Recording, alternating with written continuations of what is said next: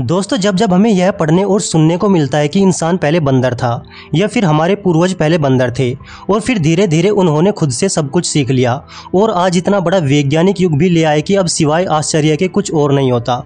खासकर यह देख कर कि आज किसी भी इंसान को बंदर बनाने की कोशिश में खुद इंसान मदारी बनकर रह जाता है, लेकिन बंदर में नाम मात्र भी फ़र्क और बदलाव देखने को नहीं मिलता। मनुष्य के इस विकास क्रम की वैज्ञानिक थ्योरी को लेकर हमारे मन में कुछ सवाल हमेशा से रहे हैं, जिनके जवाब तलाशना बहुत ज़्यादा ज़रूरी है। तो चलिए दोस्तों, आज की इस वीडियो में हम चार्ल्स डार्विन की इवोल्यूशन थ्योरी की मदद से बंदरों से इंसान बनने तक के सफ़र को समझने की कोशिश करते हैं। बस आपसे रिक्वेस्ट है कि वीडियो को स्कीप न करके अंत तक ज़रूर देखना। दोस्तों, अब से तकरीबन साढ़े तीन अरब साल पहले जब विकास का क्रम शुरू हुआ, तब सबसे पहले बैक्टीरिया आए। फिर बैक्टीरिया से अमीबा अमीबा से कीड़े मकोड़े और छोटे मोटे पेड़ पौधों का विकास हुआ। हुआ। उसके बाद जानवरों ने अपना आकार लेना शुरू किया। इसके बाद मेमल्स का विकास हुआ, फिर पक्षी और फिर धरती पर रेंगने वाले जीव जैसे कछुए आदि आए। इसके बाद फिर कुछ ऐसी प्रजातियों का विकास हुआ जो पानी के अंदर और बाहर दोनों तरफ़ रह सकती थी। फिर इसके बाद आए प्राइमेट्स जो चूहों की तरह दिखाई देते थे, और इसके साथ विकास का क्रम आगे बढ़ा। प्राइमेट्स से बंदर बने और फिर इन बंदरों से गोरिल्ला चिंपेंजी और फिर धीरे धीरे मानव का विकास हुआ। लेकिन हम आपको बता दें कि यह पूरा विकास क्रम पृथ्वी पर हो रहे मौसम और अन्य बदलाव के चलते अपनी अपनी ज़रूरत के आधार पर होता चला गया। अब दोस्तों, अगर चार्ल्स डार्विन की इवोल्यूशन थ्योरी को देखा जाए तो उन्होंने यह अपनी थ्योरी फिंच पक्षियों को देखते हुए दी थी, क्योंकि जब चार्ल्स डार्विन ने देखा कि फिंच नाम का एक छोटा पक्षी कई द्वीपों पर पाया जाता है, लेकिन हर एक द्वीप में इस पक्षी की शारीरिक बनावट खासकर उसकी चोच में बहुत ज़्यादा अंतर पाया जाता है। फिंच पक्षियों की इसी विशेषता को देखते हुए चार्ल्स डार्विन ने अपनी theory of natural selection and evolution का सिद्धांत दिया, जिसके अनुसार जो भी जीव जिस माहौल या वातावरण में रहता था, वह खुद को उसी वातावरण में ढालने की कोशिश करने लगता है, ताकि उसका जीवन और उसके आने वाली पीढ़ियाँ बच सके। इसी कोशिश में अलग अलग जगह के मुताबिक उनकी शारीरिक बनावट और बुद्धि में बदलाव आने लगा और अलग अलग द्वीपों में फिंच पक्षियों की अलग अलग प्रजातियाँ होने का यही कारण है कि जो भी फिंच पक्षी जिस भी द्वीप पर गए, उसी के वातावरण के अनुसार उन्होंने खुद को ढाल लिया। अलग अलग द्वीप पर रहन सहन तापमान और खाने पीने के साधनों और तरीकों में बदलाव था। इसी वजह से एक ही फिंच पक्षी अलग अलग द्वीपों पर जाने पर उनकी शारीरिक बनावट खासकर उनकी चोंच में बदलाव आता चला गया। जैसे किसी द्वीप पर फलों को खाने वाली लंबी चोंच वाले फिंच पक्षी। वहीं दूसरे द्वीप पर कीड़े मकोड़ों को खाने वाले छोटे चोंच वाले फिंच पक्षी। और इसी तरह फिंच पक्षियों की अलग अलग प्रजातियों का विकास हुआ। अब अगर इस बात को समझते हुए देखा जाए तो इस तरह सभी फिंच बर्ड्स का प्राइमरी सोर्स एक ही था। और ड्राविन ने यही सिद्धांत सभी तरह के जीवों और यहाँ तक कि मनुष्य के विकास क्रम पर भी लागू किया, जैसे सांप और छिपकली। या भेड़िए और कुत्ते का प्राइमरी सोर्स एक ही है।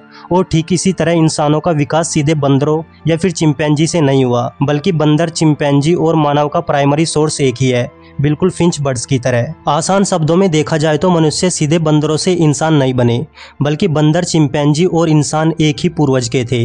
और यही पूर्वज अलग अलग माहौल और वातावरण में जाकर अपनी अपनी ज़रूरत के हिसाब से अलग अलग प्रजातियों जैसे मनुष्य, चिंपैंजी, गोरिल्ला या बंदर के रूप में विकसित हो गए। यानी कि हम इंसान, गोरिल्ला, चिंपैंजी, बंदर आदि सभी एक ही फैमिली ट्री का हिस्सा है, जिसकी मुख्य शाखा जड़ या बीज यानी कि प्राइमरी सोर्स एक ही है। और इसी कारण इंसानों का डीएनए बंदरों और चिंपैंजी से काफ़ी मिलता जुलता है। अब सवाल यह उठता है कि आखिर इंसान बंदर और चिंपैंजी का एक प्राइमरी सोर्स था तो वह कौन सा था, जिससे कि यह विकास क्रम आगे बढ़ता चला गया? अगर रिपोर्ट्स के मुताबिक देखा जाए तो लाखों साल पहले वह प्राइमरी सोर्स होमोनिड थे, जिन्हें वन मानुस भी कहा जाता है। अगर इनके शरीर की बनावट देखी जाए तो यह बंदर के जैसे लगते थे और इंसानों के जैसे भी, और यह आगे की ओर झुककर चलते थे। और ज़्यादातर समय पेड़ों पर ही रहते थे और इसी वजह से इनके हाथ लंबे थे। इस प्राइमरी सोर्स में एप्स परिवार की सभी नस्लें और प्रजातियाँ भी शामिल थी, जो मनुष्य हो या मनुष्य के जैसी दिखती हो, जिसमें मनुष्य चिंपैंजी गोरिल्ला और आदि वंश भी आते थे। अब दोस्तों, अगर बात की जाए कि आखिर मानव का विकास कैसे हुआ तो जब धरती की संरचना और उसके मौसम में तेज़ी से बदलाव हो रहे थे, तब पेड़ पौधों की कई सारी प्रजातियाँ खत्म हो रही थी तो वहीं कुछ नई प्रजातियों का विकास भी हो रहा था। कहीं धरती बेहद गर्म हो रही थी तो कहीं अन्य तरह के बदलाव हो रहे थे। इन बदलावों के चलते जीवों की कई सारी प्रजातियाँ खत्म होती जा रही थी। तो वहीं कुछ जीव और जानवर खुद को इसे बदलते वातावरण के अनुसार ढाल रहे थे और अपना स्थान बदलने की कोशिश कर रहे थे। उनकी अलग अलग प्रजातियों का विकास हो रहा था, जैसे कि इंसान। पेड़ों पर रहने वाली पिरोल पिथिकस प्रजाति जिसे इंसानों का पूर्वज कहा जाता है, यह पेड़ों पर उछल कूद करने वाले बंदर थे और इन्हीं की आगे की पीढ़ियों ने खुद के विकास के लिए पेड़ों से नीचे उतरकर ज़मीन पर चलना शुरू किया। और वहीं ओरडी पिथिकस, जिसे मनुष्य के शुरुआती पूर्वजों में से एक माना जाता है वह नई जगह और भोजन की तलाश में पेड़ों से उतरकर ज़मीन पर आए और कई हज़ार सालों तक विकास के क्रम में इनकी शारीरिक बनावट में कई बदलाव आने लगे थे। जैसे कि पेड़ों पर ना झूलने की वजह से इनके हाथ छोटे होने लगे थे, साथ ही ज़मीन पर ये अपने दोनों पैरों पर ठीक से चलने भी लगे थे। फिर आगे इन्हीं से चलकर होमो हेबिलिस का विकास हुआ, जिन्होंने भोजन के लिए पत्थरों से औज़ार बनाना शुरू किया, क्योंकि विकास के क्रम में इनके दिमाग का आकार भी बढ़ने लगा था, जिससे यह अपनी बुद्धि का इस्तेमाल करने लगे थे। फिर और विकास हुआ और आगे चलकर होमो इरेक्ट ने अपना ग्रुप बनाकर शिकार करना सीखा। साथ ही आग की खोज भी की और फिर उसके बाद आए होमोसेपियंस यानी कि चिंतनशील मनुष्य।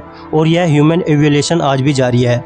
अब दोस्तों, अक्सर इसके बाद एक सवाल पूछा जाता है कि आज के बंदर या चिंपैंजी इंसान क्यों नहीं बनते? क्योंकि जब उस समय होमोनिड या बंदर बिना किसी को देखे हुए खुद से धीरे धीरे सब कुछ सीख गए तो आज के बंदर या चिंपैंजी इंसानों को देखकर क्यों कुछ नहीं सीख पाते?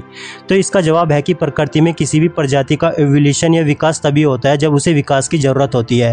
होमोनिड से इंसानों का विकास इसलिए हुआ क्योंकि उन्होंने पेड़ों से उतरकर ज़मीन पर चलने का रास्ता चुना। वह अपना जीवन बचाना चाहते थे, इसलिए उन्होंने खुद में विकास किया, लेकिन गोरेला और चिंपैंजी ऐसा करने की ज़रूरत महसूस नहीं हुई, और वह पेड़ों पर ही खुश थे, और इसलिए उन्होंने अपना विकास करके इंसान बनने की कोशिश ही नहीं की। दोस्तों, इस वीडियो के माध्यम से हमने आपको बंदरों से इंसान तक के बनने के इवोल्यूशन को समझाने की कोशिश की। तो आपको ये वीडियो कैसी लगी, हमें नीचे कमेंट करके ज़रूर बताएँ। और साथ ही अगर वीडियो पसंद आई हो तो प्लीज़ वीडियो को लाइक करके चैनल को सब्सक्राइब भी ज़रूर कर ले, क्योंकि हम इस चैनल पर इस तरह की इंटरेस्टिंग वीडियो लाते रहते हैं। तो दोस्तों, आज के लिए बस इतना ही, मिलते हैं नेक्स्ट वीडियो में, तब तक के लिए हँसते रहिए, मुस्कुराते रहिए, और अपना ख्याल रखिए थैंक यू सो मच